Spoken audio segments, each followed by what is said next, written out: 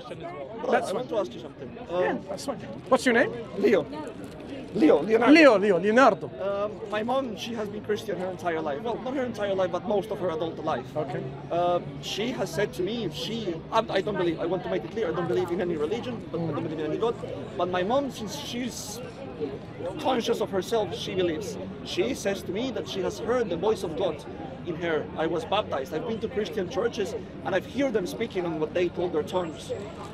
My question to you is how can anyone in general be sure that the religion is the right religion? If I correct me if I'm wrong, but I think Hinduism is one of the oldest religions in the planet. Um, I'm Colombian and uh, Native American tribes from my country. They have religions almost as old as humanity itself. Religion is probably older than time, you know? Well, since we humans are right, religion has been a thing. How can anyone be sure that their religion is the true religion? I'm sure many Muslims would say they also hear the voice of Allah or God. Many Jews could say they hear the voice of their own God. My mom would say they don't. Oh, We don't say. my mom would say she has heard the voice of God.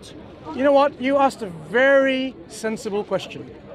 You know what? I thank you for asking that question because many people don't even want to think why this is the case. Because this is a person who has a critical thinking mind to understand critically how can it be so? How can religious ideas and ideologies apparently contradictory to each other, they can all be true and claim to be true. Okay? Let's start with simple things. God exists. And if God exists, he communicates to the people why he created them. And the purpose of human beings created is to worship God. Now, this has been expressed and stated by his chosen people that he raised among the people throughout times. We call them prophets and messengers. That you should worship, be grateful to God, praise God, and listen to the guidance of God. You know, avoid his prohibitions and follow his commandment because it is good for you.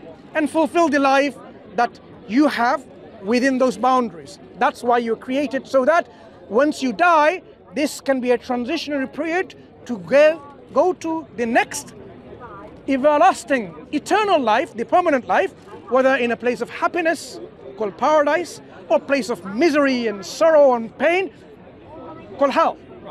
This is the human, the, the you can call it the human project. Okay. Okay. This happened throughout times.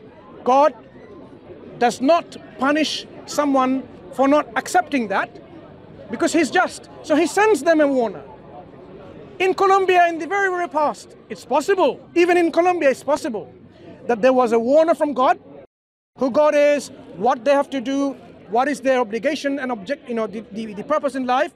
Those who believed, they were the ones we called the one who submitted their will to God. Does anyone know the Arabic word for that? The one who submits their will to God? Muslim. And the one who is in that state of submission, that state is called Islam. Yeah? So all prophets and all messengers in the past, all warners that came, they came with this state of one's self to be called Islam, submission to the one and only true Can God. I ask you something? So then, I understand this part, but God is perfect, right? What- Yeah. That's the idea. Of course. So wouldn't it be more perfect to just have one clear message that everyone can understand? Sure. I'm ex- this is what I'm- 8 billion people. No, no, this is what I'm explaining. So, whenever there is a community, let's say 4,000 years ago, there's a small community which is isolated from everyone else. You can't expect God to somehow think that these people can travel when they don't have the mechanisms of traveling, like ship, to go other parts of the world where there's a warner. But God is perfect. No, no, wait, wait, wait. So, from his perfect wisdom, you'd say it makes sense that that community will receive their own warner, their own prophet, their own guide. And this is exactly what God said. There's not a nation that God did not send a warner telling them, worship none but God and avoid false gods. So you are just like sensibly expecting, and this is exactly what happened. But what happened is this as people received these warners, not everyone believed. Some people believe, some people didn't believe, because some people thought like, how am I going to believe in something that I can't see, right? There are people who can say, I don't see gravity, I'm not going to believe in it. What is gravity? Well, you can mathematically prove gravity. No, no. Can you see gravity? You can mathematically prove it. That's not the point. Can you see gravity? You can see it on the specific So are you saying? Are you saying? with your eyes, like you and me, with our eyes, we can't. Mathematically, you can't see No, it. no, you cannot see gravity. Full stop. wavelengths. You can only You appreciate. We can. No, mathematicians and can, physicists. But you, you also can't see air, but you can feel it, can't you? You can. You can't see gravity, but you can feel it. You know it's. No, no, you can't feel down. gravity. Uh, wait, wait, wait. You can feel it right now. You're we need standing we, we, we, we need to clarify these misconceptions. Our five senses, right? Seeing, hearing, touching, smelling, feeling, all of these things, right? Gravity cannot be understood by any of them. Right. Gravity yes. can only be understood through effects that it produces. Right, but if, for example, if you went to the moon, if you, you know, you didn't even go to the moon. Yeah, let's go to the moon, and then what? Do you see gravity? Let's go Can you to- feel it? uh, Here in London, there are places where you can be in zero gravity. You can feel that there is no gravity because you're just floating. What you feel is the gravity, the effect that it produces. Right. So you can feel it. No, not gravity. Alright, you can feel the effect, effect effect, gravity. effect, effect, right. So what I'm saying is, all the prophets and warners in the past, there are people who somehow thought like, we can't see, touch, feel, smell God. So we're not going to believe in him. There are people like that. They think they were smart. Anyway, so some people did not believe, and some people believe. Whoever believed, they're the successful ones. They're the ones true, true Muslims, and they will go to heaven, paradise, Jannah. That's it. We don't say, oh, because they didn't follow last Prophet Muhammad. No, they were Muslims at that time. They had their duties and obligations, and they will be successful, or they will be one in the loser, depending on what they did. As time went by, some people didn't like this message within the same community. They didn't like it. Like it says, don't steal. But this guy, he wants that thing, this thing. He wants to just take it off from others, either by them not knowing or forcibly. Okay? So you have a thief and you have a robber or a, what was it called? Someone armed robbery, right? Two different kinds. One goes hiding in the darkest of the night or something. No one knows and he steals. And one in broad daylight says, "Give me your wallet" with a knife or a gun on his on, on your head. Right? There's two different kind of stealing. So what we're saying is there are people who didn't like that because they wanted the all the wealth or whatever. They wanted to have, say, sleeping with all the women they like. But God says the law is no, you can't. You have to have within this marriage. They didn't like that law, so they will start changing these laws, right? So this message, the point I want to make is to your question, the message then gets distorted. Do you follow, Leo? I follow. The message gets distorted. When the message gets distorted, so it no longer remains pure, unadulterated, true Islam. It becomes something else. It becomes like an ism. Buddhism, Jainism, Sikhism, thisism, thisism, yeah? It becomes a religion of its own right, a different religion, other than the original religion, original message that it was. That's why throughout the world we see within those different ideologies one thing in common. They're all trying to say there's a supernatural being that we should all worship, be grateful and thankful. But other things they have mixed and changed and twisted and distorted in terms of who this God is. Oh, God is a man sitting there in the sky Right, with a I- big I go beard and so on, right? To the same point, like Do, do, do you follow so I, far? I follow. Right. So, uh, but it goes back to the same point. You, know, a perfect God, a God that you were talking about love, a God that loves you and wants the best for you and wants you to go to heaven and enjoy whatever heaven is or paradise is. Yeah. Why not? Thanks for reminding. your message Thanks for reminding. and- I'll address that. A perfect God, in His perfection and His wisdom, He knows that He has created human beings with freedom of choice. Right, but that's that's a little bit strange. Oh, wait, wait, Like, wait, wait, wait, wait. Leo, Leo, them- you're Leo. them with the purpose, Leo, then you're allowing them to Leo, do whatever they want. you need to really understand this point.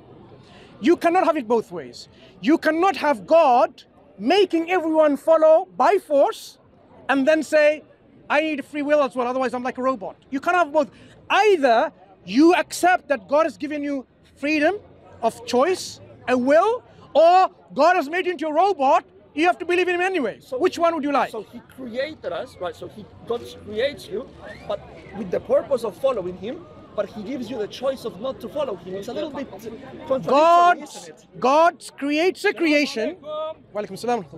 God, alhamdulillah, God creates a creation which is different from other form of creation in which they cannot disobey God, like the angels. In Islamic theology, angels cannot disobey God. whatsoever. They cannot. And when they disobey, right. they go to hell. No, no, they they cannot. No, no, they cannot. It is not in their makeup. God did not create them so that they can disobey The God. Bible says they disobeyed and they became No, no, that's not the Bible. Satan. I'm not talking about the Bible. I'm talking about Islamic theology. Okay, Bible has a different theology about angels having free will, but in our understanding, angels, the way they're created, they cannot. Quran says, uh, you know, in no ambiguous terms. Your angels don't have free will. No, no, the question is not free will. The question is whether they can disobey God or not. Their makeup is they cannot, they will not. Let's say it this way. They cannot or will not, they cannot disobey God. That's how the makeup is, right? So, God created another human beings, like humans, uh, another creation like human beings, that we have a will in which we can accept or reject God with our own will. But God doesn't want us to go to hell. God wants us to go to paradise. But He says, Look, I've given you the choice. You make your destination by exercising your choice.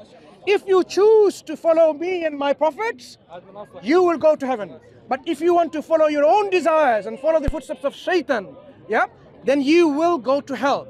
The decision is yours. So God, in His wisdom, He has made a creation who can choose their destiny, who can choose their destiny by following or not following God.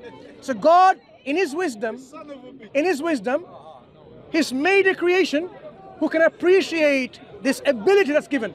You know this ability, the the cosmos, the stars, they don't have it. Every single thing within this universe, they follow the lo- laws of God. Literally, they cannot disobey God. This particular amana or trust was offered to the heavens and the earth. Right? Whether you call them inanimate or animate, none of them accepted this offer except human beings. God says it in the Quran. Human beings accepted it.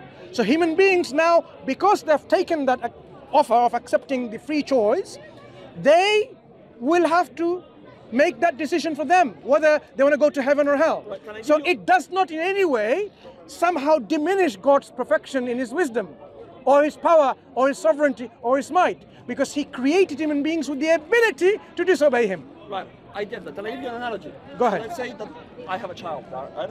I have a child, and to my child, he didn't choose to be brought into this world, but I give him two choices. I say to my child, right, I can either try to give you the best possible life I can, or the worst possible life I can, but it's your choice.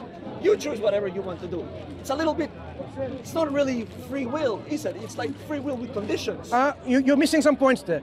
You're talking about human beings as a child who has not intellectually matured, doesn't understand and differentiate between right and wrong, truth and falsehood, good and bad. Human beings, God already given us into but three different. No, no, no, no, Leo, Leo, Leo. It's in, you need to understand our position first, right? Before you strawman our position. Our position is this: فَأَلْهَمَهَا فُجُورَهَا وَتَقْوَاهَا. Allah says in the Quran, He inspired within us the good and the bad. قَدْ أَفْلَحَ مَنْ زَكَّاهَا وَقَدْ خَابَ مَنْ دَسَّاهَا. Successful are those who purified themselves, and the losers are those, the ones who will be in lot at a loss, who who don't do that basically, right? Say that they do the opposite. So, what we are told is even within our own self, in our makeup, intuitive makeup, you want to call it, the fitra, the natural disposition of a human being, God has already inspired what is good what is bad. So that's a first thing. He's already inspired within you and has taken something, a witness from you already before even you are here. But again, Wait, wait, wait. bad might not be the same I'm not finished yet, Leo. I'm not finished. So you understand that. Before even we were born, we testified already as souls that God says, Alastu bi rabbikum. We all said, Bala, of course you are our Lord. And God says, just in case you say later, we didn't know that you are our Lord, or we were following our forefathers and so on. Several excuses. What happens is, these innate belief about having a God, innate belief that we should worship God, often gets clouded, takes over by conditioning, by our family, by our society, by our ego, and so on. So our value judgment, which is supposed to be sound, they gets conditioned and clouded, indoctrinated by lots of other external, internal things. And we know that. We know that. We know how today we are socially brainwashed by social media, right? Look at the young kids. They go into their whatever this TikToks and Snapchats and whatever it is, and they will try to put on makeups. They're not even adults yet, and display sexuality because they think, oh, this is how I'm going to look nice. But they don't realize how there are sexual predators exploiting them. Say, okay, show me a pose when you're naked, and these girls or boys are doing that without knowing this. This is social indoctrination and conditioning. So what I'm saying when it comes to the belief system, our belief system can get clouded. Okay. Prophets and messengers, this is the next step.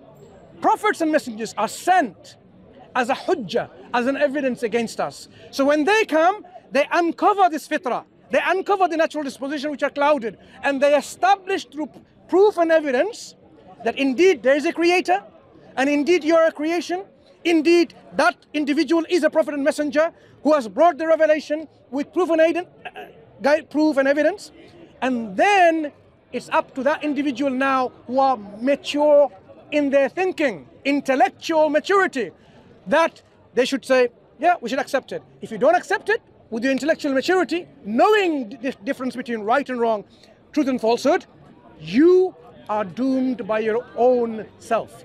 That is why God is just. He does not, He will not punish someone who doesn't have the capability of understanding between right and wrong, truth and falsehood. Okay. Like, for example, if a child dies, you don't expect God to put him in a hellfire because the child did, it is No, of not course, fair, course, course, right? yeah. So what I'm saying is, someone say who is insane, totally mentally incapacitated, the pen is lifted. There will be no judgment that God's going to send them in hellfire because God is merciful and He's just. So that's why we're saying, to your question, why didn't God, for example, make everyone believe? He could have. God says so. If He wanted, He could have made everyone believe, but that would be like a forceful belief. He is giving people Made them with, perfect as well. that's heaven. He's given people the chance. Look, this is a unique creation of God. Listen, Leo, a unique creation of God in which they have the ability to even disbelieve on their creator. Look at the power and the might and the ability that human beings have, not even to acknowledge their creator. It's a big potential power that you have. God is saying, with that power, have consequence and responsibility. If you use it wisely and justly, then you will be rewarded with paradise in which you will be there in happiness forever. But if you don't use your choice wisely and appropriately, then what awaits for you is hellfire. But God says, What? Wait there. I will constantly send prophet and messengers to guide you warn you, instruct you, and bring you back to the right path. So there's many paths leading to hell, but God will empower you, you with prophets and warners and ambassadors and so on, even inspiring you in your dreams, even in your wake up. Sudden thought comes. Give me, an example. A worshipper of an idol is very much in meditation, worshiping the idol a dog comes, lifts the hind leg, starts urinating on the idol. He hears something, sees the dog, recognizes what's happening, defilement of his holy God. He started chasing the dog. As he was chasing, suddenly a thought came to his mind, something like this Why are you chasing this dog? Your God couldn't even protect himself. How can it be God? That moment was the moment of inspiration from God if he utilized and accepted and abandoned that worship of the idols, he would have been brought back to the right track. If he didn't, he missed the opportunity because God gave him the opportunity to come back to the right path and he missed it. That's why we say constantly, even in our lives, there are many ways and means God constantly guides us. The Quran reminds us again and again do not follow the footsteps of Satan. Satan warns you, Satan commands you to do evil, commands you to do this, X, Y, and Z. Abstain, stay away from. Throughout the Quran, it's all about warnings and glad tidings and who God is and what we should do in our lives. So, even after that, you cannot say, Why didn't God force people? Because God has given us a chance because who we are. God made us in that way. In this makeup, we have to deal with it. If you are in the Titanic and it sank, it's no point saying, who are the engineers that did it? Ah, let's curse them and punish them. It's not going to help you because it's sinking and you need to know how to save yourself. You and I are here on this earth now, and we are going to die. I'm going to die. You're going to die. All of us going to die. How are we going to save us from the hellfire? That is the important question that we need to address. Not because like God is so this all these philosophical, theological, speculative questions. You can ask all of that. Islam gives you the answers. It is important for us to recognize that we are here and we need to deal with it. We are here with the ability to agree or disagree with the revelation. We need to verify it, whether it's indeed from God or not. We need to verify whether Prophet Muhammad is from God or not, a messenger or not. If we can verify it, affirm it, and assert it, then apply to our lives and live like a Muslim. And you die like a Muslim, God guarantees and promises you that He will give you gardens underneath you, rivers flow. Whatever your heart's desire, you will get it. Paradise, where there's no sorrow, there's no grief, there's no pain, there is but pleasure and contentment, tranquility. And the best of all of that is seeing your Creator. The atheist would never see God if they die in the atheism. And when they're in hellfire, they will ask, Send us back, we will be good. Give us another chance. In the Quran, God says, This is what you will do, but you will not be given a chance. This is your chance. So use it. So when the atheist, for example, who says, I don't believe in God, have you ever asked an atheist, why do you disbelieve in a God? Is it because there's no evidence for God? Or is it because of your ego? Is it because you think you are so special, you're so mighty that you cannot bow down to someone greater than you? No, look, I, I can't stand here and say that God or anything doesn't exist. I don't have a proof that it doesn't exist. I can't But we have proof God exists, just like we have proof gravity I'm exists. not going to get into the conversation because I have to go soon. But to That's me, fine. To me, you can never prove that God exists in the same way that I could never prove to you that He doesn't. I think we are equal. In that Uh, that's why I would disagree.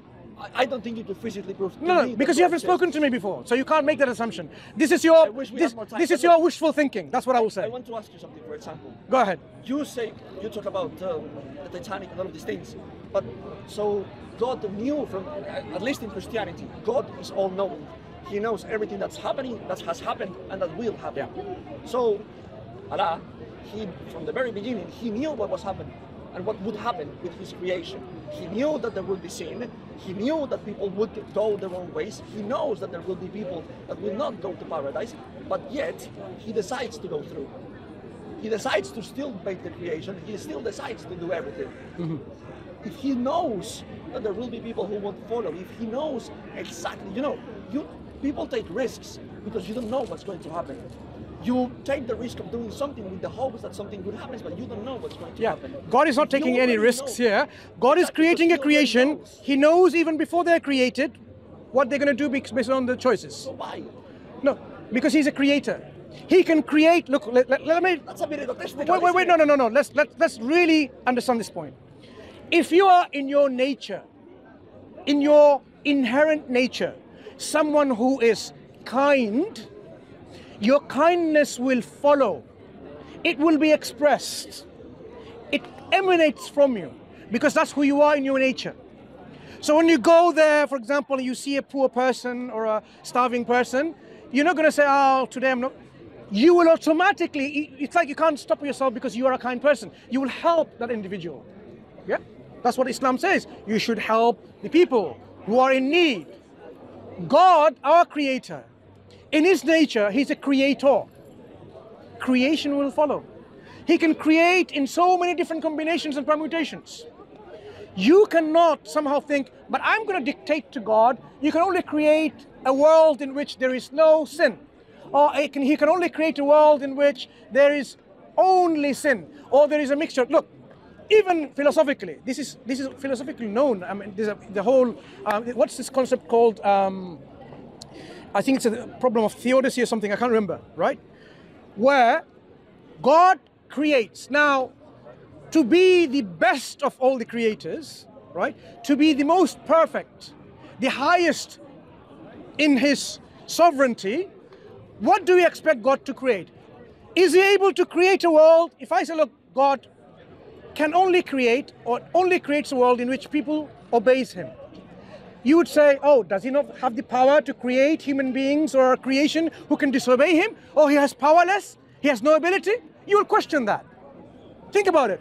If God only created a creation like the angels who cannot disobey God, and you are an observer, look, this is hypothetical. You're thinking, does he not the ability to create a creation in which they can disobey God? Well, I mean, the, it is in the fallacy. Can God lift, create a rock that is so heavy he himself can lift it? That's not a fallacy. well, it's a, it's a, That's not a fallacy. I don't know It's not a, it's, it's, it's, it's a silly, com- no, a it's not an silly arg- hypothesis. No, no, it's not a hypothesis. It's a rhetorical statement. I'll tell you why it's a rhetorical statement. Rhetorical is the it's right not a word, yeah. question, it's a rhetorical statement. It's like asking, who created God who is uncreated? Well, Can you they have a say, squared circle? can we have a Think- square circle? Can you have a squared circle? Think oh. about think about this question. Who created Mathematically you could. Okay.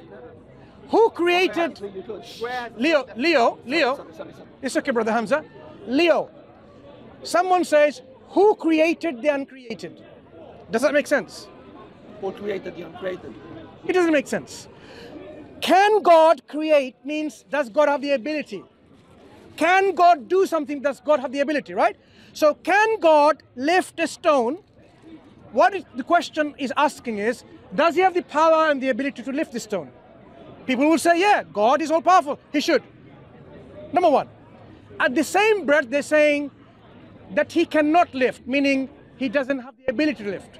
So the question is asking, does God have the ability and not ability at the same time? It's a bit paradoxical. No, no, it's not partisan, it's a nonsense. As I said, No, I- I you are a good question asking, no, no, no, no, it's it's not a question. It's not a question. I'll tell you why it's not a question. People need to understand that, Leo. You are saying, can God have ability and not ability? It's a nonsensical statement. To a question, to be a question, three things needs to happen. It must have potential answers. Let's limit it to two to make it easy. It must be free from internal contradictions. If I asked you, how many legs does the sun run on? Three or 21? The sun doesn't run. Yeah. Answer my question. My question had options, three or 21. Does the sun run on three or 21 legs? Can't answer the question. Sorry? Can't answer the That's question. not a question. Because the question has internal contradictions. This contradiction is it assumes the sun has legs, but the sun doesn't have legs. So you are answering a question that I didn't ask. Does the sun run? Does the sun walk? And you say, no, the sun doesn't run. So that's why a question to be a question, it has to be free from internal contradictions. And it must have potential answers. The question about can God lift a stone that's so heavy he cannot lift, it is not a question. It's a rhetorical statement by this poor, intellectually poor atheists and agnostics trying to make that argument to somehow think God doesn't exist. This is a silly statement to make.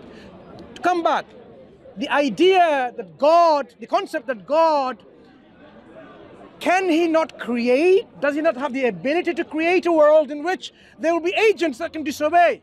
Yes, he can, and he demonstrated that. Look at the human creation. This is a good analogy. God has demonstrated to humans that he's powerful to create human beings in all possible permutations and combinations. Human beings come from you and I, from a father and a mother, man and a woman. That's one way of creating, originating human beings. There's another way. Only from a man only. Eve, a Hawa, alayhi salam, from the ribs of Adam, from a man. Isa, Jesus Christ, the son of Mary, is another way. From a woman only, not from a man. So you have a man, from a man was Eve, from a woman was Jesus Christ, and what's the other way left? From no man and no woman, that's Adam, salam. These four different ways of human beings' origination, God shows us all of them to demonstrate His creative might, His majesty, His power. Likewise, this is my humble understanding. God created human beings with these abilities and so on to demonstrate to us His ability, His might, that He can create agents in so many different combinations and permutations. Angels, They do not. La ya'sun Allah. They cannot, they do not. That's the Quran says. They do not disobey Allah in whatsoever way. Okay?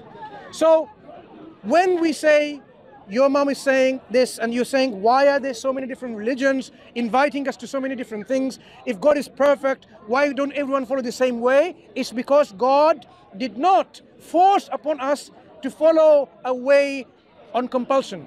He gave us a way through prophets and messengers. Human beings go against that prophet against that messenger. They not only do that they often distort it by themselves they change the scripture because they don't like it because it goes against their whims and desires.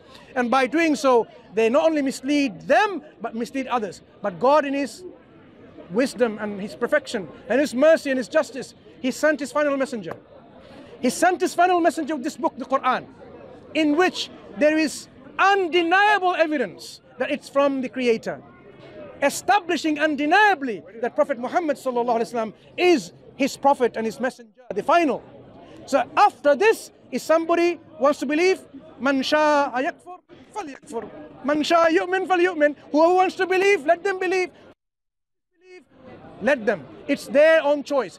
God in the day of judgment, He will judge between all of us through justice and no one will be served unjustly. So in the day of judgment, when an atheist or rejecter of God comes along and says, but I didn't know, God says, look, I gave you enough evidence and proof.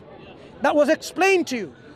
Why did you reject? In fact, God tells us in the Quran, Surah Al-Mulk, when this is event of the future, when certain people are dragged in chains by the angels of hellfire, they will ask, did there not come to you prophets and messengers and warners? These people who are going towards hellfire, being dragged in chain, they will say, yes, they came. But we belied them, we rejected them, we denied them. But they will affirm one thing they will confess. Had we listened to the prophets and messengers or used our intellect, our akal, we would not have ended up in this place. So God is telling us even the role of intellect is such that it can help you, direct you, and guide you to the truth of revelation, truth of the reality of things. But people, as you know, Leo, do not use their intellect properly, do not use their sound judgment properly. If you ask many of the atheists, I mean, you know, Speaker's Corner is a place where we have discussions with atheists Yeah, yeah. for years and years. And what becomes and what becomes evident is they do not use critical thinking. I'm so surprised. You're supposed to be the first person to reprimand us believers, saying you don't use critical thinking. But we have to tell them, where's your critical thinking? So, Leo, you as an individual, because you don't, you said you don't want to discuss this matter now, I would humbly request you to reflect the things I said about Quran having undeniable, irrefutable evidence from God. If you so wish, we can have a discussion later, or now if you wish, to What show to you? I'm here until the sun sets and then we'll pray and we'll probably go. But but as you probably know, many of us, know, it doesn't have to be me, many of us, we come here every Sunday or most Sundays, and you're more than welcome to speak to my brothers and sisters who you find comfortable with to speak to with camera, besides camera, outside camera, and have that discussion. No, I love to talk to you then. It's just uh, a bit of a rushy. I know, I know, I know. I, I don't want to stop you and, and, and, and, and No, keep you delayed. I hear your Hmm? point, but uh, Yeah. So, and you've already seen it, okay? I'm, on on my YouTube channel called Dawah Wise, but of course, many other channels are recording. So, if you go to our channel, you'll find many discussions already where we have discussed with atheists, gone through their arguments and their counter arguments, the rebuttals and the counter rebuttals. It doesn't stop there, and it will oh, continue. believe me, brother, I could write an essay about this. You know. Yeah, yeah, yeah. I But but one thing for sure is you need to decide for your own self. Looking at the evidence presented from all sides, and then you accept it. Because one thing for certain that you know, and don't have any delusion about it, you will die, and we all will die. So it has to be not deferring too late, saying I will think about it later, but thinking about it right now. Because if you are not seeking the truth and you die, you will be in big, big mess. If you ask me, I already found my true brother. It's a pleasure. Nice talking to you. You take care. That was quick, Mansur. What did you do? no, he had to go already from before. If I were to just summarize then what we discussed so far, I mean, this gentleman, a young, very uh, smart individual, came and asked a very sensible question about like why you know, if God is so perfect and is so wise, why are there so many differences in religion? Why are there different ideologies and all claiming to be true and they're all different? And I explained why, because God created us with free will and through this free will, people often disobey God and distort the message that God sends. And that's why we see all these differences in religion and ideologies. But God, in His mercy and His justice, He also sends prophets and messengers one after the other, even to the same nation. To the children of Israel, He sent many prophets, one after the other. And still, when they went, this, the sea parted with the staff of Musa alayhi salam. They no no one can do it. And they went on the other side. And the army of the Pharaoh, Pharaoh drowned. And then literally like their their feet isn't dry yet, and they're building a golden calf to worship it. That's what we're talking about human beings, human psyche. They're forgetful. They're often someone who don't want to use their reason.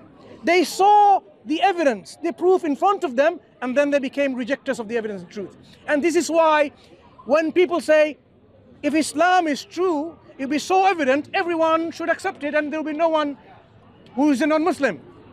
But the reality is, even if the evidence was clear, some people would not accept it. Even if they saw stairs climbing up to heaven, even if they see the dead speaking, even if they were given mountains of gold, some of them would not believe. They will say, I'm deluded, it's an illusion. So belief is something other than just proof and evidence. It's something that one needs to work on their own heart, on their ego, to accept it. There, even at the time of Rasulullah, Prophet Muhammad, someone knew the truth but they didn't accept it. We know that. That's the reality of things. So some people may not accept the truth based on peer pressure. If I become a Muslim, my friends will think I'm a weirdo. I'm wearing a hijab. I'm what's wrong? Like, or oh, I'm going to a mosque wearing a, a hat and wearing this thobe. I must have been indoctrinated by ISIS and all these, you know, terrorist organizations. That's what people think. People fear repercussions. The people fear how the society will take them and think them, how the society, how their own family will consider them. That fear often prevents people from accepting Islam. But Alhamdulillah, we want to inspire people to remove that fear. Be a person in which you love the truth that doesn't matter if the whole world went against you. You know that they cannot save you in the day of judgment. You have to save yourself. So once you have that empowerment that I need to save myself, that I need to save myself from the fire of hell, then nothing can stop you. Your friends, your teachers, your peers, your family, they cannot stop you from accepting Islam, accepting the truth.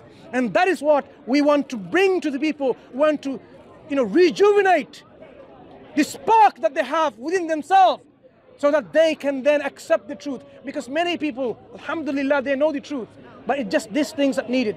A little bit push. Isn't it true that you yourself have witnessed in Speaker's Corner many people declaring their Shahada accepting Islam? You have seen it with your own eyes here in this park. Why?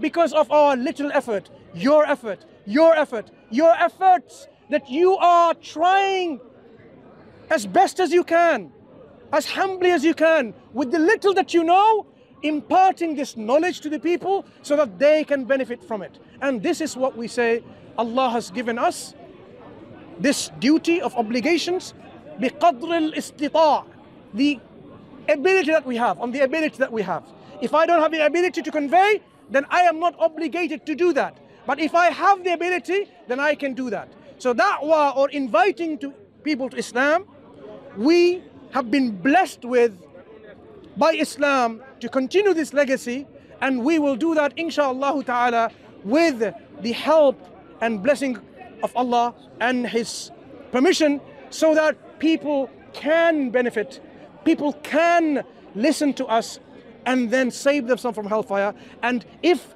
what we have demonstrated here inspires you, my brothers and sisters, who are watching behind your phones, your tablets, your computer. Take the next step, learn more, empower yourself to convey the message of Islam through words and action. If you are at workplace, demonstrate to your colleagues that you're truthful, that you're reliable, that you're honest, that you have this good akhlaq, and they will ask you, How are you so? Everyone else is lying and cheating and deceiving. What makes you special? And you'll say, Because I'm a Muslim. Your action will be the da'wah. And if you want, you can go and learn Islam, read books, listen to scholars. Don't take it from us because we are not scholars. There might be some, Sheikh Muhammad over there, but myself, I'm not a scholar. Don't learn Islam from me. Learn it from the shuyukh, the ulama. Go sit with them. Go find a mosque. Go find a center and listen and learn and then use it in practice and modify your arguments and then you will see why Islam can reach through you the corners of the world across the globe because you wonder why are these people still not Muslims because they haven't reached they have not had the message of Islam to them but you can be the instrument you can be the individual through which they can hear Islam they can see Islam through your words and importantly through your actions واخر دعوانا الحمد لله رب العالمين السلام عليكم ورحمه الله وبركاته ما شاء الله ما شاء الله